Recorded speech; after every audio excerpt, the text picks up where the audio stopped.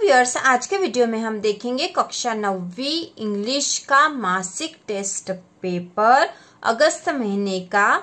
तो शुरू करते हैं। क्वेश्चन नंबर वन है फिल इन द ब्लैंक्स तो यहाँ रिक्त स्थान हमें भरने हैं।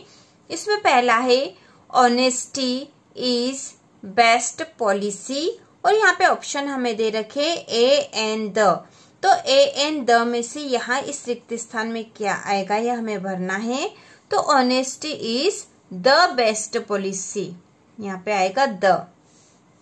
इसके बाद दूसरा है ही इज़ इंजीनियर तो यहाँ पे भी ऑप्शन दे रखे ए एन द तो यहाँ पे आएगा ही इज़ एन इंजीनियर ठीक है ही इज़ एन इंजीनियर तो ये क्यों आएगा? इसके लिए अलग से वीडियो बनाकर हम समझाएँगे।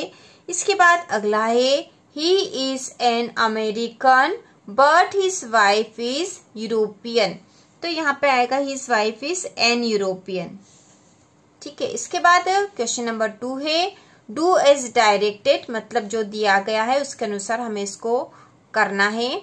इसमें पहला है sing can a song you और क्वेश्चन मार्क है। रीअरेंज द जम्बल्ड वर्ड तो इसको रीअरेंज करके हमें लिखना है। तो यहाँ हम लिखेंगे, क्योंकि यह क्वेश्चन मार्क दे रखा तो एक क्वेश्चन बनेगा।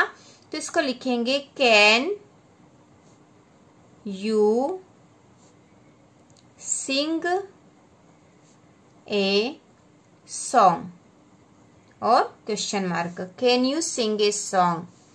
इसके बाद दूसरा जो है, children are playing in the park. Children are playing in the park. Change into present perfect tense. तो इसे प्रेजेंट परफेक्ट टेंस में हमें लिखना है। तो इसका हम लिखेंगे children have played in the park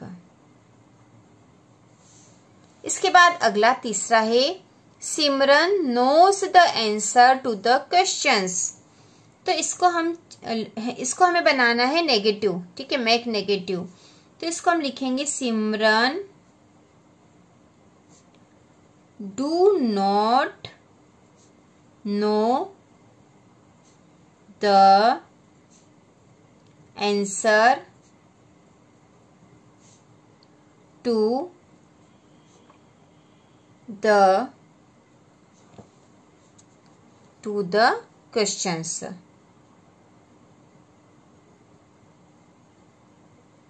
ठीक तो इस प्रकार से बनेगा नेगेटिव बना देंगे हम इसको।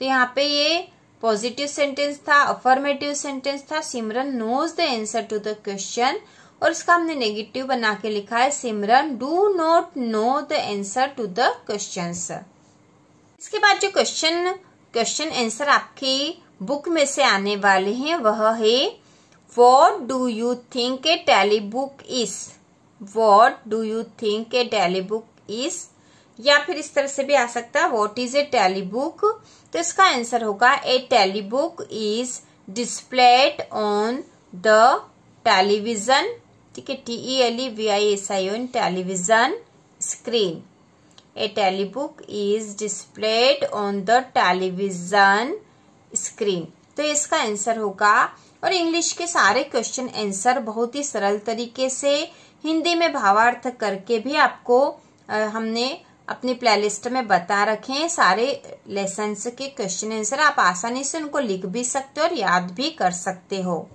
इसके बाद अगला क्वेश्चन है what subject did Margie and Tommy learn what subject did Margie and Tommy learn तो इसका आंसर है Margie learn geography and arithmetic and Tommy learn history and arithmetic इसके बाद अगला क्वेश्चन है who helped her to continue with music what did he do and say who helped continue यहाँ पे her की स्थान पे आ जाएगा? Evelyn who helped Evelyn to continue with music तो इसका आंसर होगा Ron Forbes helped her to continue with music he spotted her potential and said don't listen through your ears try to sense it some other way इसके बाद अगला question है what does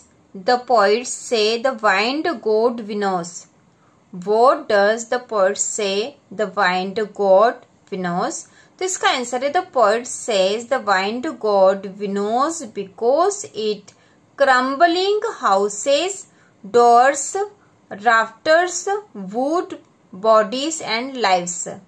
The poet says the wind god winnows because it crumbling house, doors, rafters, wood, bodies and leaves. इसके बाद जो application आपकी test में आने वाली वह है write an application to the principal of your school asking three days leave as you are ill ठीक है तो केवल थ्री डेज़ लीव की या फिर फोर डेज़ लीव की एप्लीकेशन आएगी आपके एग्ज़ाम में और यह इस प्रकार से हम लिखेंगे। To the principal government higher secondary school Bhopal. तो यहाँ आपको अपने स्कूल का नाम लिखना है। उसके बाद हम लिखेंगे subject an application for leave sir I am a student of class ninth I am ill I can not come to school three days ठीक है, यदि फोर डेज़ का आता तो आपको यहाँ फोर डेज़ लिखनी है। I want three days leave तो यहाँ पे हो जाएगा I want four days leave kindly grant me leave for four days ठीक है थ्री के स्थान पर फोर लिख देंगे, यदि फोर डे के ही आएगी वैसे तो यहाँ फोर आ जाएगा four days thanking you yours obediently name और आपको यहाँ क्लास अपनी लिखनी है। तो इस तरह की एप्लीकेशन हम पहले ही सीख चुके हैं कि हमें कैसे लिखनी है। और यदि आप लगत ही चैनल को देखते रहोगे तो आपको हर प्रकार के प्रश्न की तैयारी हो जाएगी, जैसे कि एग्ज़ाम में आने की पूरी संभावना है। फिर से एक बार देख लेंगे। To the principal government higher secondary school Bhopal. आपको अपनी स्कूल का नाम लिखना है। सब्जेक्ट में हो जाएगा। An application for leave Sir, I am a student of class 9th. I am ill. I cannot come to school three days. तो यहाँ पे यदि फोर लिखा हो तो थ्री के स्थान पर आपको फोर ही लिखना है I want three days leave kindly grant me leave for three days तो जितने भी दिन की एप्लीकेशन का आएगा आपके एग्ज़ाम में टेस्ट में उतने ही दिन की लिखनी है जैसे टू हो तो थ्री के स्थान पर टू लिख देंगे और फोर की आए तो थ्री के स्थान पर फोर लिखेंगे ठीक है, यहाँ पे भी फोर हो जाएगा, यहाँ पे भी फोर इसके बाद नीचे thanking you your obediently name and class तो इस प्रकार से हमने क्लास नाइन्थ इंग्लिश के मासिक टेस्ट की पूरी तैयारी कर ली है।